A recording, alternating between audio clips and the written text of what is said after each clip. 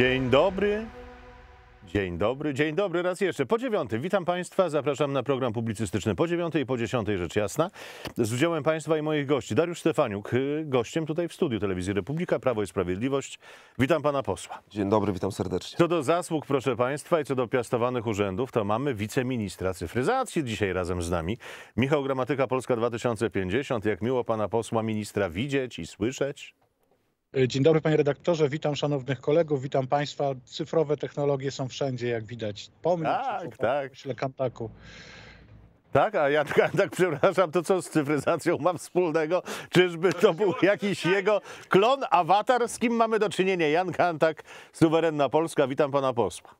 Cyfryzacja pozwala łączyć się z Lublina. Dzień dobry panie redaktorze, dzień dobry państwu, ale przykro nam, y, myślę z Darkiem Stefaniukiem, że to tylko pan wiceminister zasłużył na takie miłe przywitanie, że pan się tak cieszy, że pan go widzi i tak dalej. A o nas to tylko tak na sucho, a dzień dobry. No, My tak normalnie, tak. My, tak, Panie- my tak normalnie, tak. Panie pośle Kantak, ja muszę panu, skoro pan mnie tak podpuszcza, to ja panu powiem tak. Pan nawet nie wie, jak ja się niezwykle cieszę, że pan zmieni za chwileczkę stan cywilny i pan dołączy do grona wszystkich szczęśliwych. Naprawdę, ja, ja panu redaktor- serdecznie gratuluję się i się cieszę pańskim szczęściem. Pan redaktor się cieszy, ale myślę, że wiele dziewczyn w Polsce się smuci jednak.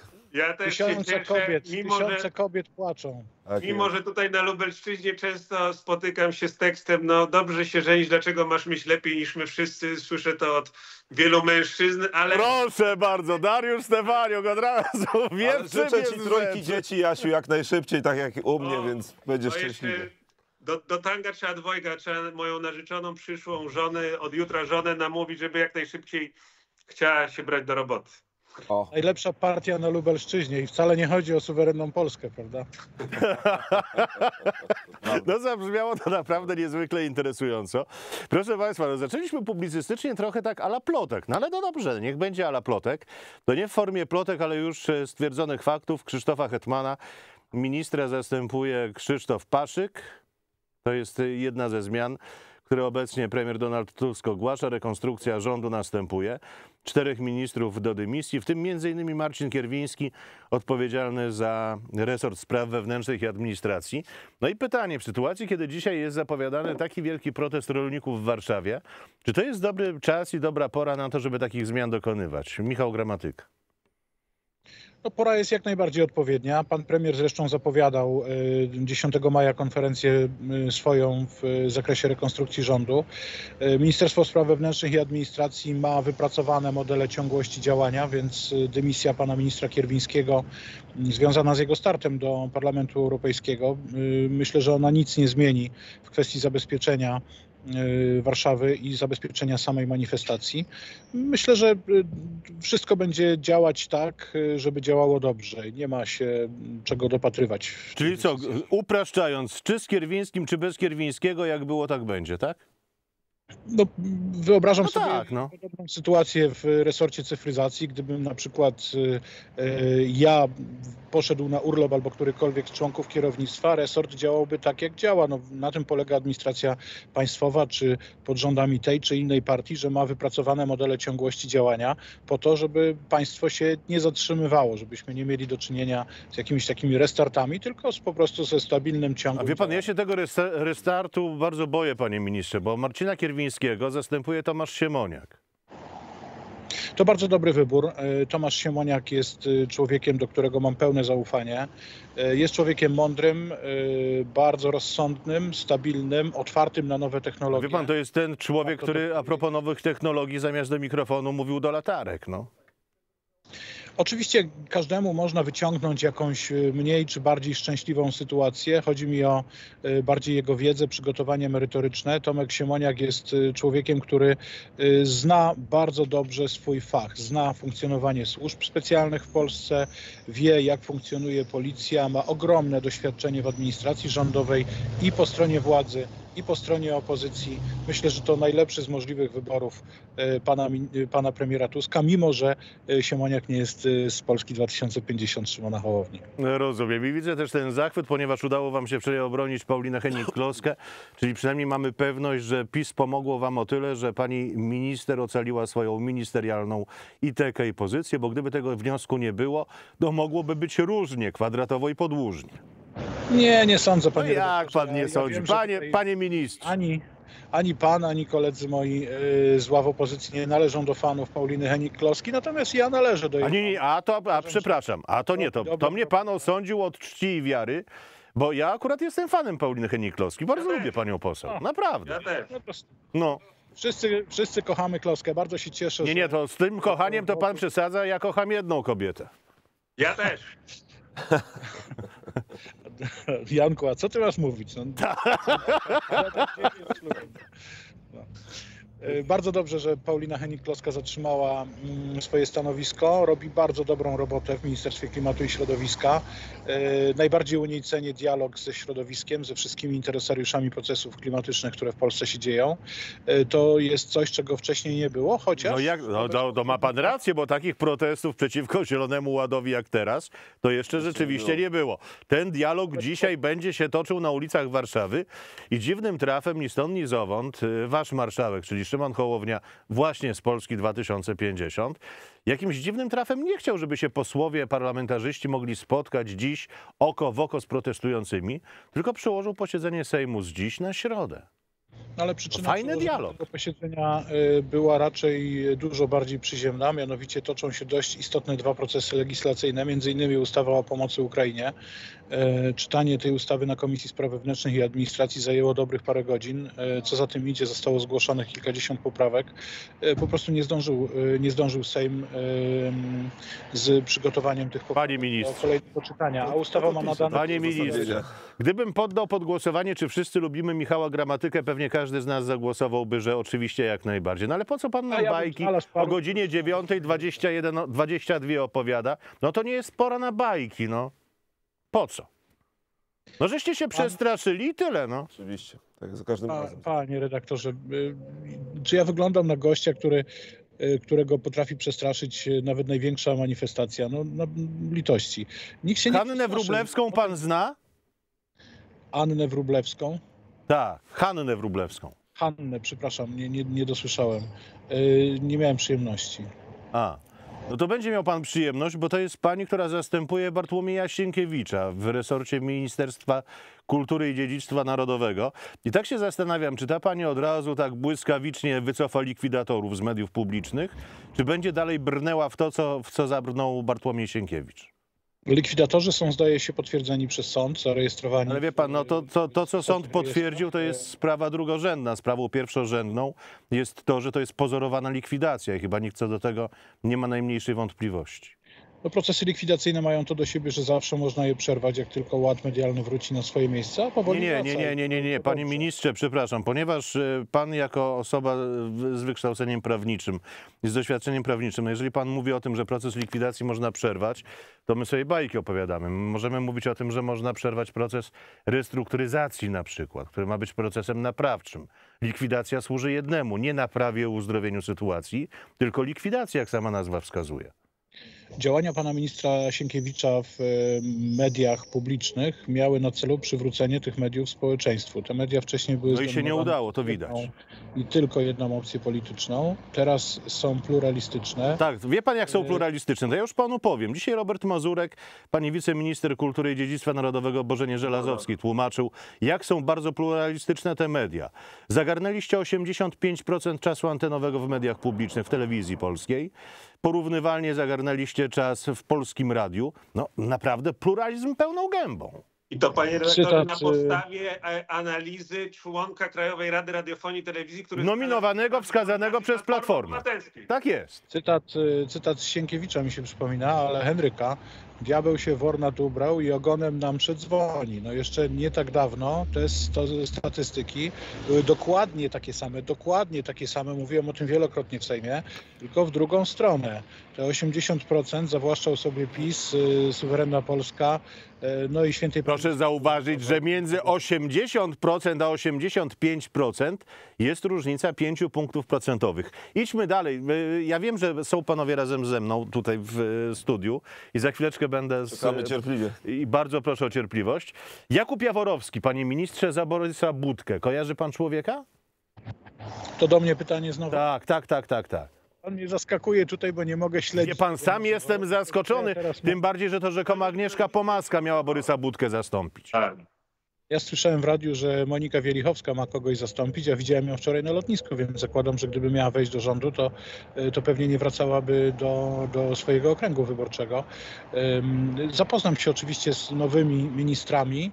Y, Widzę, że pan y, premier Tusk stawia y, na osoby bardziej merytoryczne niż znane politycznie. Przepraszam bardzo. To znaczy, że do tej pory były niemerytoryczne. Nie, nie, nie, proszę, proszę nie, proszę, to jest niewłaściwa interpretacja tego, co powiedziałem. Chodzi mi o to, że poprzedni, poprzedni urzędnicy sprawujący te najwyższe funkcje byli y, powszechnie znanymi politykami. A, Budka czy Bartłomiej Sienkiewicz. Natomiast teraz widzę, że pan premier Tusk sięga po osoby, które nie są może tak znane politycznie, ale równie merytorycznie sprawne, co ich poprzednicy. no to Jan Kantak, ponieważ też żywiołowo zareagował podobnie jak i ja, jeśli chodzi o merytorykę, to bardzo proszę. No to zabrzmiało właśnie tak, jakby pan e, wiceminister sugerował, że wcześniej to byli politrucy, a teraz w końcu ktoś, kto się zna na Broń robocie. Boże. broń Nie, nie, przynajmniej ma się znać. Nie, nie, panie, panie pośle, Borys Budka- panie Borys ministrze. Budka był moim byłym studentem, jest jednym z najlepszych, jakich miałem, Ale więc panie, O Boże. panie ministrze, no jeśli pan pozwoli, bo ja nie Budu. wchodziłem w zdanie, w końcu doczekałem się od pana redaktora Klarenbacha, że mam ten przywilej bycia u głosu, tak żebym chciał z tego skorzystać. W każdym razie, panie Pan się uczy, panie ministrze, przepraszam, do Jana Kantaka, byłego wiceministra aktywów państwowych. Pan się uczy, bo wie pan, z tym głosem to już tak e, myślę, że po sobocie może być różnie. Ja pana tak przygotowuję troszeczkę, wie pan.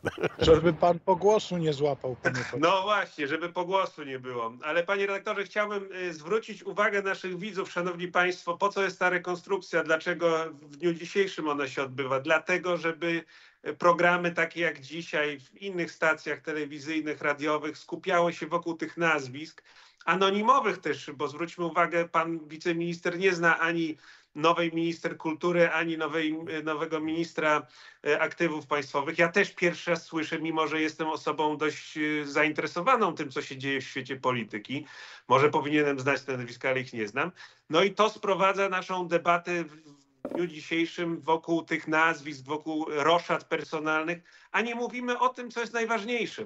Bo najważniejsze jest dzisiaj strajk rolników. To, że to jest pierwsza grupa społeczna, która pokazuje czerwoną kartkę y, zmianom dotyczącym klimatu em, realizowanych przez Unię Europejską. I to jest najważniejsza sprawa, bo ona dotyczy naszego bezpieczeństwa, ona dotyczy każdego z nas, każdego z nas, kto chodzi do sklepów czy na ryneczek, żeby zaopatrzyć się w żywność. I Tusk jak zwykle, bo to jest y, zagrywka Tuska z lat 2007-2014, próbuje przekierowywać e, uwagę publiczną na e, rzeczy mało, zna, mało znaczące. Tusk jest mistrzem, takim magikiem, który próbuje z jednej strony pokazywać sztuczkę i my myślimy, że to jest rzeczywiście coś zniknęło, jakaś magia, a tak naprawdę z drugiej, drugą ręką robi coś, czego my nie widzimy. I miejmy tego świadomość. Także panie redaktorze, jeśli mogę się odnieść jeszcze do kwestii pani minister Henik-Kloski, ja też jestem fanem, tylko że trzeba spojrzeć z punktu widzenia Polski.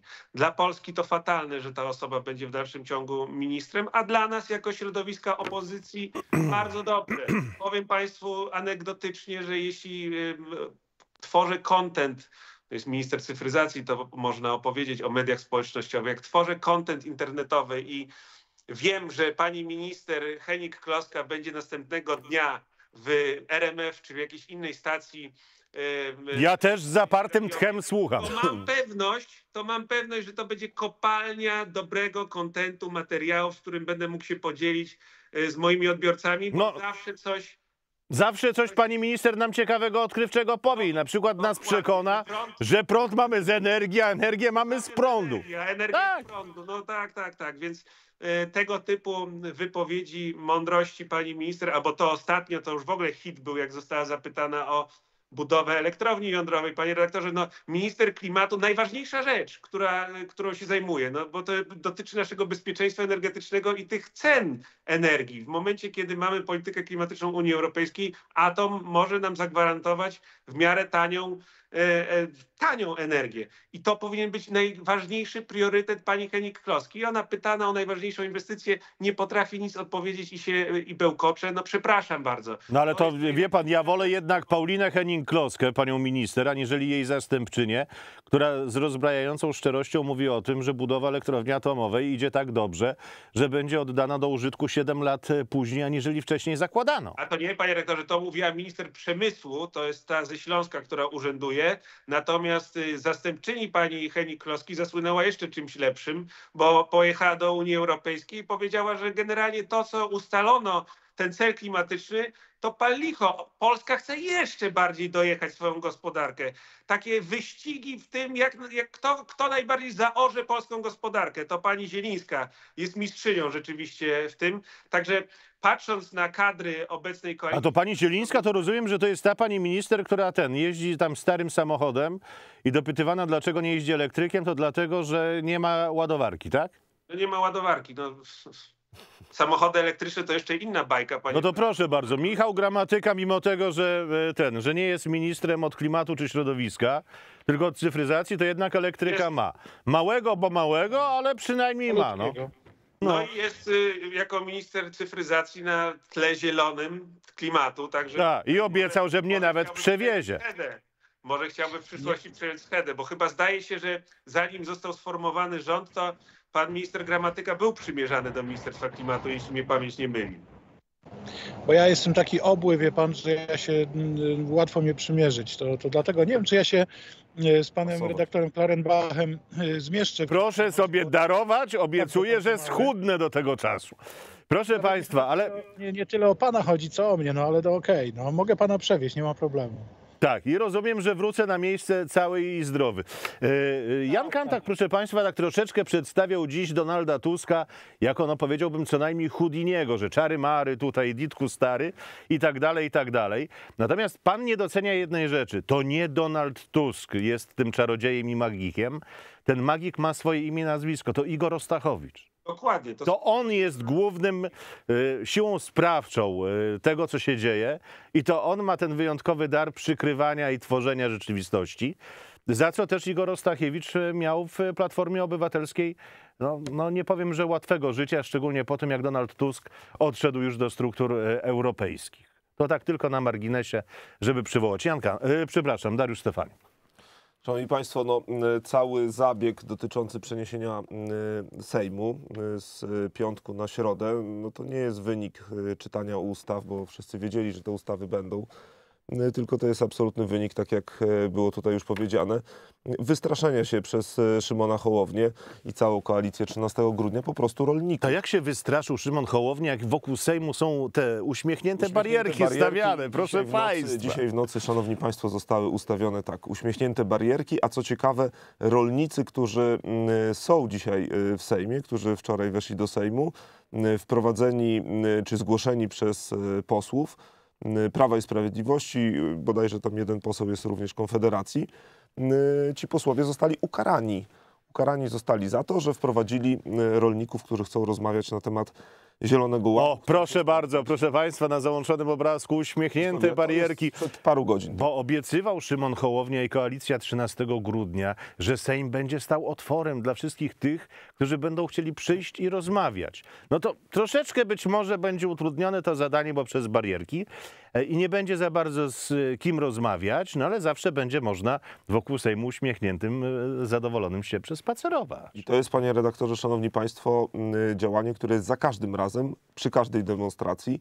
Ja mam nadzieję, y, bo tam takie y, słowa y, padły, że ta demonstracja będzie bezpieczna, że będzie wszystko w porządku, tak jak poprzednie. No mam nadzieję, że ona nie będzie właśnie taka jak poprzednie, że nie będzie tam prowokatorów, że nie będzie ludzi, którzy będą prowokować przyjecha- rolników, Panie- którzy przyjadą pa- do, do. Warszawy. Ale jak pana lubię, to bardzo pana proszę. No, pan nie robi lo- ludziom wody z mózgu, bo to nadzieja, nadzieją ona umiera jako ostatnia, wiem. Ale prowokatorzy oczywiście, że będą. Na każdej manifestacji My są. musimy być, panie redaktorze, m, y, przygotowani do tego, y, żeby to mówić, natomiast nie dajmy się omamić, y, że wcześniejsze demonstracje były pod y, okiem Kierwińskiego i jego działaniami y, pokojowymi, bo ja byłem na tych demonstracjach, zresztą wszyscy widzieliśmy filmy, bo później chodzimy do różnego rodzaju programów. Ja słyszę od polityków koalicji 13 grudnia, że żaden rolnik nie był pałowany, że w nikogo y, nie było nic rzucane, A pan wie? To- gazu to i opowiem tak panu tak dalej. dowcip. No, takie bajki zaczynają być opowiadane, bo minęło parę tygodni i wszyscy zapomnieli. Ale to po, No nie, nie powiem, po, powiem państwu w formie i panu posłowi, w formie czarnego humoru. Czy pan wie, że sami policjanci się dziwią, że nikt w ogóle za bardzo oprócz Republiki nie podchwytuje tematu, co policjanci robili? Nikt. Oni są nawet zdziwieni, że w ogóle nikt na to nie reaguje. Panie redaktorze, no to jest oczywiste, że y, media reżimowe, no przed chwilą zostało pokazane, y, jaki jest czas antenowy poświęcany koalicji 13 grudnia. Takiego tematu nie będą podchwytywać. Ten temat będzie zaorany, zasypany. Dzisiaj jestem przekonany, że w TVP TVN-ie y, będzie mowa tylko i wyłącznie o fantastycznej rekonstrukcji. Nikt się nie pyta, bo nikt nie zadaje tego pytania, a dlaczego dzisiaj jest rekonstrukcja, szanowni państwo? A dlaczego ci ministrowie dzisiaj są y, odwoływani? Czyżby Donald Tusk już y, ułożył listy y, i karty wyborcze w taki sposób, że wie, że ci ministrowie zostaną wybrani do, do Europarlamentu? A co się stanie, jak Kierwińskiego y, poprzez te pogłosy nikt nie wybierze? To co będzie y, z, tych, y, z tymi następcami y, tych ministrów? Y, To są pytania, których nie usłyszycie y, w TVP, nie usłyszycie w TVN-ie, ale usłyszycie je w telewizji Republika. Dlatego są potrzebne nam niezależne media. Śmieszy mnie to, jak politycy koalicji 13 grudnia dzisiaj opowiadają, y, jak to wtedy była telewizja zawłaszczona i to wtedy był ten reżim i jak to było źle, ale jak dzisiaj oni jeszcze bardziej zawłaszczają telewizję, nielegalnie przyjmują telewizję, to już jest w porządku, jest pełna praworządność, wszystko, wszystko jest y, idealnie zrobione. Przecież to jest cynizm, to jest śmieszne, wystarczy porównać sobie te obratki, obrazki. Y, Zapomnieli, y, jak to było y, w czasach opozycji, tylko problem jest jeden. Problem jest jeden, że jeżeli tak to będzie wyglądało, to szanowni państwo, idziemy w coraz gorszą stronę, dlatego że te działania, które oni dzisiaj y, robią, na pewno nie będą obojętne dla następnej władzy i dla następnych, y, dla następnych rządów. I mówię tutaj o wsadzaniu y, posłów legalnie wybranych y, do więzień, o odmawianiu im prawa do głosowania, o odmawianiu im prawa do uczestniczenia w obradach, przejmowania nielegalnie telewizji. Byliśmy z Jankiem Kantakiem w telewizji, gdy wyście ją y, przejmowali, byliśmy w Polskiej Agencji Prasowej. No nie, no Michał Gramatyka przejmowali. Nie przejmował, to z drugiej strony bez Eee, przesady. Koalicja trze- 13 grudnia przejmowała, panie redaktorze, i każdy, kto wspiera koalicję 13 grudnia jest za to odpowiedzialny. To jest odpowiedzialność, mimo że ja bardzo lubię i szanuję mm, Michała Gramatykę, bo z Michałem razem przez e, poprzednią kadencję i troszeczkę w tej kadencji pracowaliśmy w Komisji Cyfryzacji. Dzisiaj razem pracujemy, bo przychodzi na Komisję Cyfryzacji jako minister i w tej kwestii jest absolutnie mm, merytoryczny i tutaj współpracujemy, no to jednak no, popiera te działania rządu koalicji 13 grudnia, które są absolutnie niewłaściwe, bo są wbrew wszelkim standardom. Michał Gramatyka.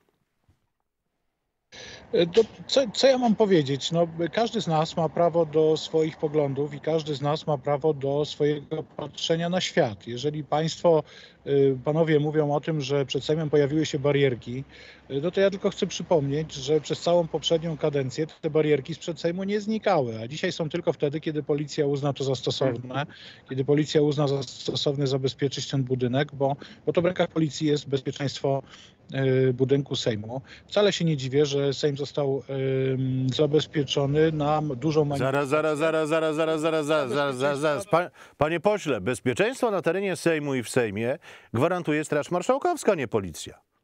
No tak, no ale te No, no nie tak. są na terenie Sejmu, są poza terenem Sejmu, są na chodniku, który już nie należy do... Ale przepraszam, do czy Sejm nie miał być tej kadencji otwarty? Czy przypadkiem Szymon Hołownia od tego nie zaczynał? Że Sejm będzie miejscem, gdzie każdy będzie mógł przyjść, jest. będzie mógł się wygadać, będzie mógł zaprotestować wszystko, co będzie chciał tylko zaprotestować. Nawet powiedział, czy, czy tak nie było? obywatelom. Nawet tak No ja przepraszam, ja co prawda mam już też swoje lata, ale demencji jeszcze póki co nie osiągnąłem.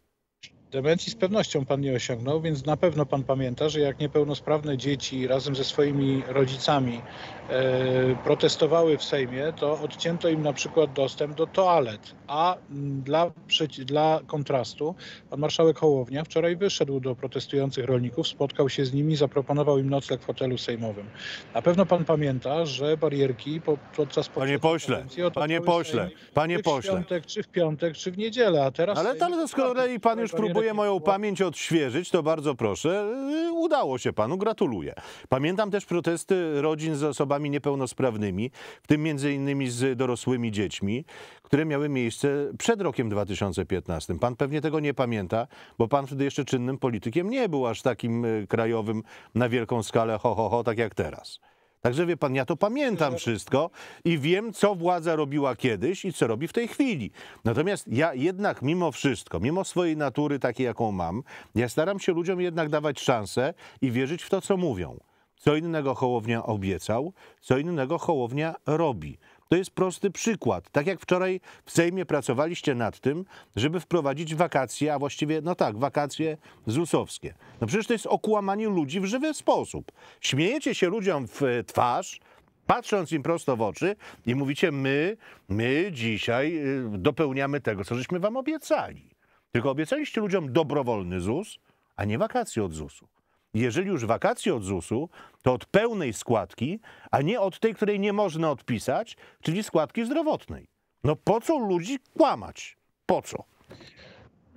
Pan marszałek Hołownia wyniósł prowadzenie obrad w Sejmie i zarządzanie Sejmem jako całością na zupełnie inny poziom. Poziom, To który pełna wcześniej zgoda. był nieosiągalny. Pełna Sejm zgoda. jest otwarty, każdy Mam talent, tak. wejść. Żenady. E, Złoty przycisk. Można swobodnie chodzić wokół Sejmu, można wejść na teren A nie Nawet to lo- jak wokół Sejmu nawet- można swobodnie chodzić. Nawet lobbyści mogą wejść na salę plenarną, tak, to prawda. Przepraszam, To jest inny ale, poziom. ale wie pan, mimo barierek, które stały podczas y, poprzedniej kadencji Sejmu, ja przypomnę tylko dlaczego one stały. Ponieważ były takie grupy ludzi, które były prowokowane przez posłów ówczesnej opozycji, czy w ogóle poprzez y, uprzednią W opozycję. bagażnikach wwozili ich przecież. Tak jest. Do tego, żeby ten Sejm próbowali właśnie zająć. Wie pan, co się stało po wczorajszym proteście? Pan mówi e, po tym strajku okupacyjnym Sejmu, czy też strajku siedzącym w Sejmie Rolników, e, który państwo obserwują na załączonym obrazku. Marszałek Sejmu e, chce ukarać posłów, którzy dopuścili się tego, że ci rolnicy tam protestują. Tak. Czyli, że zostali wprowadzeni. Do tego wszystkiego chce zmienić instrukcję, żeby tego typu sytuacji nie było. Hołownia stykał ludzi. No, Trochę. e, e, strasznie, strasznie mi przykro, ale to tak jak mówię, no, patrzymy na tę samą rzeczywistość, patrzymy na nią w zupełnie inny sposób. E, Ja widziałem wczoraj marszałka, który rozmawiał z rolnikami, który z nimi prowadził negocjacje, który zaproponował im nocleg w hotelu sejmowym. Za czasów pani marszałek Witek takie sytuacje się nie zdarzały. Panie pośle, zdarzało się- przepraszam, że panu przerwę i nie chciałbym, żeby pan odnosił wrażenie takie, że się na pana uwziąłem. Ale pan mówi tak. Marszałek Sejmu to taki dobry człowiek, który zaproponował tym protestującym na krzesełkach w sali posiedzeń Sejmu, żeby przeszli do hotelu sejmowego. No genialny pomysł. Wie pan, akurat y, za czasów poprzedniej władzy też były takie propozycje, żeby niepełnosprawnych usunąć z sali posiedzeń Sejmu, czy z budynku, w którym trwają obrady Sejmu, między innymi do y, hotelu sejmowego, po to, żeby tych ludzi nie było widać i po to, żeby oni siedzieli sobie w tym hotelu sejmowym i żeby nikt na nich nie zwracał uwagi. No przecież to jest tak banalnie proste, że aż powiem szczerze, no prostackie. No. Panie redaktorze, trzeba Panie zadać redaktorze, jedno pytanie. Jedno pytanie tylko chciałem zadać y, do pana ministra. Y, A jak Iwona Hartwig wprowadziła y, osoby niepełnosprawne do Sejmu, to pani marszałek Witek nałożyła na nią karę, czy nie finansową? Nie. e, e, Bo teraz została nałożona przez Szymona Hołownię dla osób, które wprowadziły rolników. Dla posłów, którzy wprowadzili rolników. Tak? Ja rozmawiacie, tak rozmawiacie i taki dialog macie z rolnikami, jeżeli chcą pytać o Michał Gramatyka kontynuuje. Nie, nie, no bo tak jak mówię, no patrzymy na rzeczywistość w zupełnie inny sposób. Ja pamiętam Prawda. poprzedni Sejm, poprzedniej kadencji. Pamiętam na przykład, gdzie mogli pracować dziennikarze. E, Pole do pracy dla dziennikarzy w, pomiędzy tymi dwoma kadencjami jest zupełnie różne. Dzisiaj dziennikarze mogą wchodzić wszędzie, oprócz kuluarów. Wcześniej... Oprócz telewizji Republika, panie pośle, pan od Nie, razu doda. No po co się panie- rozdrabniać? Panie redaktorze, no przecież e, e, redaktorzy telewizji Republika, na przykład kolega Adrian Borecki, wita się ze mną w Sejmie ile razy wchodzę, jest dokładnie tam, gdzie chcę być. Za czasów pani marszałek Witek nie mógłby na przykład chodzić e, na dole albo Nie, nie, nie za czasów pani Elżbiety Witek, ale jeżeli pan już odwołuje się do wspomnień, to za czasów Marka Marka Kuchcińskiego. To jest drobna różnica. Powstało centrum Poza tym- prasowe. Poza tym nie, że, nie, że się, jestem czepliwy wyjątkowo dziś, ale skoro już na logikę coś próbujemy komuś e, przedstawiać i mówimy o rzeczywistości, to przypomnę, że rzeczywistość dzieje się tu i teraz. A pan dziwnym trafem mówi tak, że mamy różne postrzeganie rzeczywistości. To bo możemy ja- różnie panowie- postrzegać historię. Natomiast rzeczywistość jest taka, że Hołownia scykał ludzi. I tyle. Czy ja mogę? Panowie, panowie mówią o Sejmie tak, jakby on był jakąś niezdobytą twierdzą, podczas gdy w ciągu 100 dni tego roku barierki wokół Sejmu stały w jeden dzień, czyli z 90 Jaki dni jeden nie, dzień? Nie stały. Nie, dzisiaj nie. stoją, prawda? No jutro już Nie, panie pośle, poprzedni protest rolników. W Co pan opowiada? stały. Czy ja no, mogę? no, Kilka razy. jeden dzień. No, no, No jak jeden dzień? w lutym Że co, że dzisiaj jest pierwszy jeden dzień? Że dzisiaj jest dzień inauguracji barierek Barierki, uśmiechniętych? barierki stoją wtedy, kiedy policja uzna, że należy je tam postawić. Nie, barierki stają przed Sejmem, panie pośle, za każdym razem, kiedy jest zapowiadana jakakolwiek manifestacja w Warszawie. Bo ta władza niby, która się z ludu wywodzi i tak na tej naiwności ludu do tej władzy doszła, teraz się ludu po prostu boi. No i tyle. To No. jest taka trochę, wie pan, moralność jednego z bohaterów w pustyni i w puszczy. No, skoro poprzednio Pan nie cytuje lektur, które czas, mają zostać było- wyrzucone z kanonu. To było dobre, a teraz barierki stoją dwa dni w roku i to jest złe, tak? O, Ja i tego- pan teraz tego nie idzie mentalnością Kalego. Kali ukraść dobrze, Dobrze. ukraść Kalemu bardzo niedobrze. No pewnie pan się do tego odwoływał, nie? Kali zabierze czas antenowy w telewizji polskiej, to jest dobrze, ale jakby Kalemu zabrali, to To jest bardzo niedobrze. Tak było, no. Jan Kantak. Panie redaktorze, jeśli chodzi jeszcze o te barierki, których próbuję A, to, to, to pan minister gramatyka doprowadził do tego, że mnie pomroczność jasna ogarnęła, bo to, tutaj Ale- mówi pan minister, że pierwszy raz barierki są ustawiane. Tak, no to zróbmy fetę państwo- z tego powodu. Nie, ja widziałem świetny mem, świetny, szkoda, że nie, nie mogę go pokazać, bo łączy się na telefonie komórkowym. Takiego kaczora Donalda, który zjeżdża na nartach z Złotej Góry ze złota i podpisane prezes firmy wystawiającej e, barierki po wybraniu Hołowni na marszałka. No bo szanowni państwo, to wszystko kosztuje. Przecież to nie jest tak, że to jest charytatywnie e, państwowa służba jakaś wystawia te barierki, tylko widzimy na tych nagraniach kilkanaście osób, które przez północy musi te barierki wystawiać, trzeba je przywieźć. Ja zastanawiam się, będę musiał chyba wystąpić z interpelacją do kancelarii Sejmu z informacją, ile to kosztowało podatnika. Bo pan y, Gramatyka i pan Hołownia chcieli zrobić z tych barierek symbol, mówić, że władza pisowska się odgradza, ale ze względów pewnie opłacalności te barierki stały, bo mieliśmy do czynienia rzeczywiście, tak jak pan redaktor wspomniał, z masowaną akcją ataku na y, władzę poprzednią. Przecież mieliśmy to patologiczne miasteczko, które w dalszym ciągu tam jeszcze jakieś obrzydliwe banery się znajdują i ci ludzie cały czas manifestowali. Więc to jest naturalne, że policja, tak jak w waszym przypadku, mówi, że teraz potrzeba barierek, tak również za naszych czasów policja mówiła, że potrzebne są barierki. I to jest naturalna rzecz. A jeśli chodzi o protest e, rolników w Sejmie, to pan redaktor też e, dotknął kluczowej kwestii, czyli tego, że Hołownia chciał ich po prostu wypchnąć, żeby media tego nie pokazywały. Ale panie redaktorze, szanowni państwo, oni mają na to sposób. Nawet jak rolnicy tam będą, to proszę zwrócić uwagę, że dzisiaj rano było łączenie z waszym reporterem Republiki, który powiedział, jak, który nocował tam na, w, w Sejmie, który powiedział, że kancelaria Sejmu, Straż Marszałkowska odebrała przepustki rolnikom strajkującym, żeby nie mogli y, wyjść i ponownie wejść do Sejmu, jak również temu dziennikarzowi. Co to oznacza, szanowni państwo? Jeśli dziennikarz telewizji Republika stracił swoją przepustkę, to oni chcą doprowadzić do tego, no bo oczywistym jest, że tylko Republika będzie to transmitowała.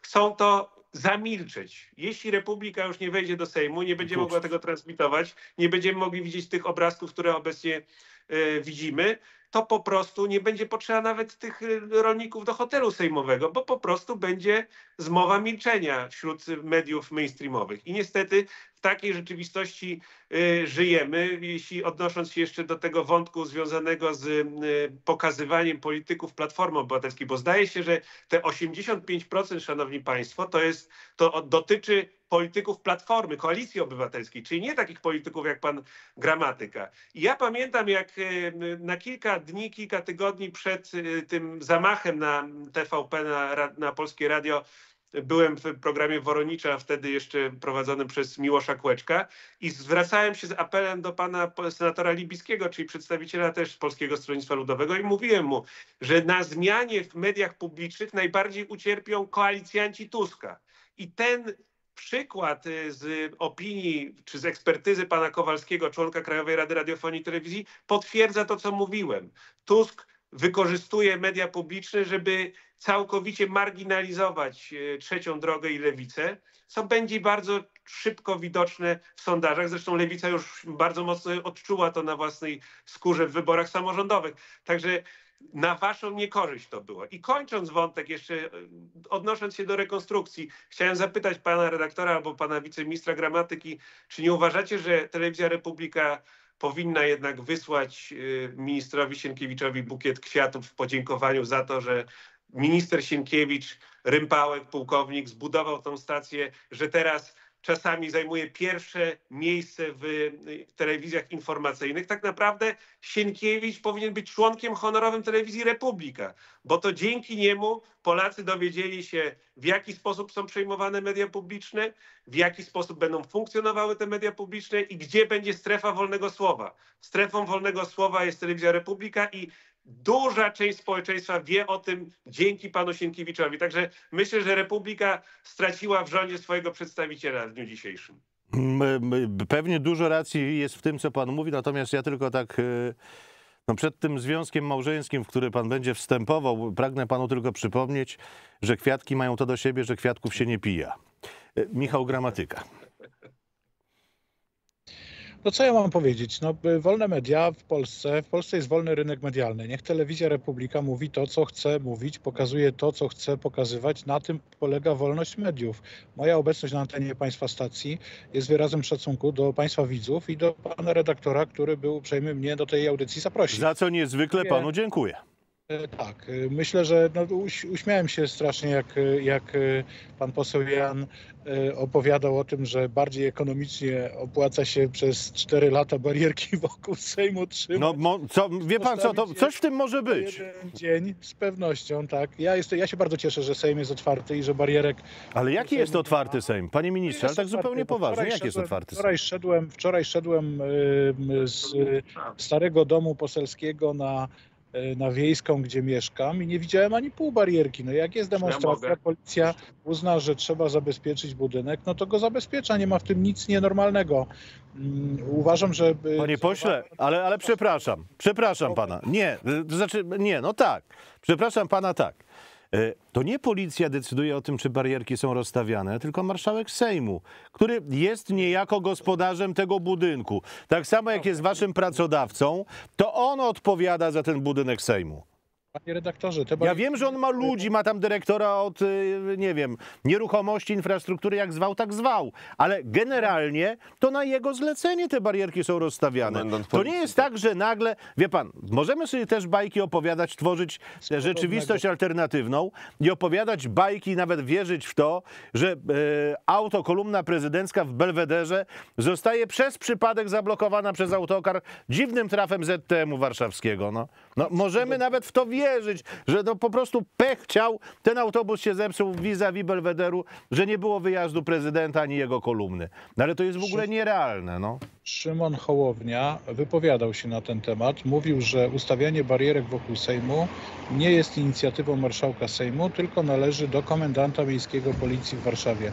Barierki stoją I, I poza... co, i te barierki są rozstawiane wbrew woli tak, i wiedzy dokładnie. marszałka Sejmu? Nie są One są rozstawiane, rozstawiane są wtedy, kiedy policja uzna, że należy ten budynek zabezpieczyć. Za zgodą czy bez zgody marszałka Sejmu? To nie ma znaczenia. Tutaj Nie, to ma znaczenie.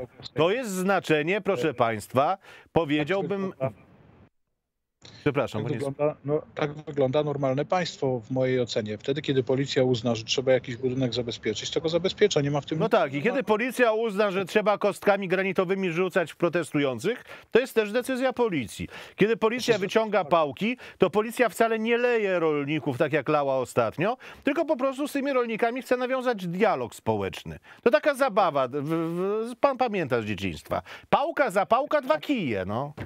Mieszkam w Warszawie w budynku, który sąsiaduje z ulicą Wiejską i po ostatniej demonstracji rolników, y, na którą dostało się paru chuliganów, którzy niszczyli dobytek publiczny, Przepraszam, a- na przykład szybę w wejściu mojego, mojego bloku. A pamięta pan protesty pod znakiem Pioruna, jak było miasto niszczone, dewastowane, jak były elewacje Kościoły. niszczone, kościoły, to wtedy dziwnym trafem to nikomu nie przeszkadzało. Przepraszam, wtedy mówiono, że to jest głos ludu, Tak, społeczeństwo, prawo. prawa obywatelskie i tak dalej, i tak dalej. I mówiono o jakichś korzyściach, które są większe dla ogółu, aniżeli mniejsze, jeśli chodzi o zniszczenia. Tutaj szyba jakaś zbita. No wielka, wielka tragedia w ogóle, no. Z pewnością nie zrobiła tego policja, a proszę zwrócić Ale uwagę, że wiadomo, pan kto to minister? Kierwiński, pan minister Kierwiński informował bardzo detalicznie o postępowaniach dyscyplinarnych wobec policjantów, którzy nie zachowali się zgodnie z zasadami podczas ostatniej manifestacji. Czyli co, jednak byli tacy policjanci? Y, Zawsze zdarzy się ktoś, A kto- widzi pan, bo narracja, kiedy był ten ostatni protest, kiedy był ten ostatni protest, ale super, że pan go pamięta i super, co mówił minister Kierwiński, że w pańskiej pamięci utknęło. To widzi pan, to już mamy drugi raz, kiedy barierki uśmiechnięte są przed Sejmem rozstawione. Bo dziwnym trafem też były te barierki i dziwnym trafem też posiedzenie Sejmu zostało przełożone. Pewnie tę samą ustawę czytaliście sobie na komisji. Nic więcej nie mam do powiedzenia. A wiedziałem. Barierki, barierki nie opuszczały Sejmu. W tej kadencji barierki widzę drugi raz przed Sejmem. A to już dobrze, że ustaliliśmy, były- że drugi były- raz. były trzy razy, Super. były jeszcze Będziemy liczyć dalej. Dariusz By- Stefaniuk. były jeszcze- były w jeszcze w lutym. pierwszych 100 dni, no to mówię, w ciągu pierwszych 100 dni pojawiły się raz, w ciągu kolejnych 100 dni pojawiają się drugi raz. Raz na 100 dni. To setna państwo, tego, co było. to, czy te barierki y, tam są raz, dwa czy pięć razy, czy by były cały czas, absolutnie nie ma tutaj znaczenia. My rozmawiamy o pewnym symbolu, o symbolu, o którym mówił y, marszałek rotacyjny Hołownia, że to będzie otwarty Sejm, to będzie Sejm dla każdego, tam każdy będzie mógł wchodzić, wychodzić. Przepraszam, ale prze, przerywałem ministrowi to i panu posłowi. Proszę Będę bardzo. przerywał, a będzie mi łatwiej, bo pan tutaj siedzi. Daj pan spokój, już z tym marszałkiem rotacyjnym nie dojdzie do żadnej rotacji. Hołownia marszałkiem Sejmu będzie do końca kadencji. Zobaczymy. Czarzasty się nie doczeka rotacji. To, że Czarzasty się nie doczeka, to jest y, bardzo prawdopodobne i raczej nie, nie będę się z panem redaktorem zakładał, bo Nie, nie, bo ja się nie zakładam z założenia, wie pan. Ktoś mnie skutecznie otoczył od zakładu. Tak. Wszyscy w Sejmie dokładnie wiedzą, że y, Tusk zaorał lewicę i, i Czarzasty nie tylko nie będzie marszałkiem, ale za chwilę lewica będzie miała mniej ministrów niż y, do tej pory i ta rekonstrukcja to prawdopodobnie ma pokazać. Natomiast chodzi, chodzi nam o Czy to. ja mogę mieć pewną prośbę, bo Tak. ja, ja mam tak, że ja bardzo nie lubię słowa zaorał. E, Ja chciałbym, żeby dyskurs polityczny polegał na tym, że spieramy się na poglądy, a nie obrażamy się, nie używamy takich sformułowań jak ktoś tam, nie wiem, zaorał kogoś albo ktoś się e, sam zaorał. Mam ba bardzo duży szacunek do obu panów posłów, mimo tego, że politycznie nic nas nie łączy. E, Na, naprawdę. No, Jasne, ale to nie czas, nie czas na tyrady. Jasne, ja, ja to absolutnie... Ale przepraszam, orka jest językiem Chciałem występującym to powiedzieć, bo w, w nie, języku... panie redaktorze, tylko jedną rzecz się odniosę. Po pierwsze, ja się nie dziwię, że te profesor słowo, że te słowo jest dla was problematyczne, y, bo ta grupa rolników, która jest y, w Sejmie, to jest Orka. Taka nazwa. E, nazwali się grupą Orka, więc y, myślę, że tutaj marszałek Hołownia i cała Polska Orka to jest 2050 też, ma y, problem z tym. Natomiast oczywiście mogę nie używać słowo zaorać. Wy używaliście 100 razy gorszych y, różnych słów. Słowo zaorać nie kojarzy mi się y, negatywnie. Ja pochodzę y, ze wsi, z województwa lubelskiego. Nie ma w tym nic złego, że w ten sposób mówimy, ale jeżeli to drażni pana ministra, bardzo proszę. Y, y, Po prostu Donald Tusk rozmontował y, lewicę, a teraz będzie rozmontowywał y, inne tak zwane przystawki. Myślę, że za to już się pan y, tutaj nie obrazi. Y, I cała y, akcja, która odbywa się dzisiaj, to tak jak rozpoczęliśmy nasz program, ma na celu przykrycie, czyli ta cała rekonstrukcja, która jeszcze jest o 9.12 się rozpoczęła, ma na celu przykrycie tego, o czym mówimy i wszyscy rolnicy w Polsce, i wszyscy Pol Polki i Polacy, o Zielonym Ładzie, o tym, co y, będzie szykowane w Unii Europejskiej, o tym, za czym głosowali wasi parlamentarzyści, wasza Róża Tun, która y, jest wielką zwolenniczką tego typu y, procesów legislacyjnych, o tym, że Donald Tusk uznał i Radosław Sikorski w sukurs za nim wyższość prawa europejskiego nad konstytucją, nad którą tak płakał wasz marszałek. Ona miała być taka ważna, a artykuł 8 jakoś przez was nie jest czytany. Y, O tym y, są te wybory i o tym y, dzisiaj są dyskusje, a przez tego typu wymyki chcecie to po prostu przykryć. Ale to Taka się nie uda z prostego powodu. Ludzie nie są zainteresowani rekonstrukcją rządu, bo właściwie te nazwiska, które podaliśmy, mówią nikomu. ludziom nic nie mówią. W związku z czym Znaczy, to- to jest, to, jest to tak. zabieg nieudany. Zdarta płyta są te metody pana Ostachowicza, jak pan redaktor słusznie zauważył. I chciałem jeszcze się odnieść do tych kwestii barierek, bo y, tu pan minister y, jakby wprowadza w błąd y, naszych widzów. To robimy tak, panie, panie, panie były ministrze. Odniesie się pan do tych barierek i pan pamięta ten wątek i wszyscy, wszyscy wespół, zespół dookoła, uczestnicy naszej rozmowy również. Będziemy od tego zaczynać kolejną sekwencję już w programie Super. po dziesiątej.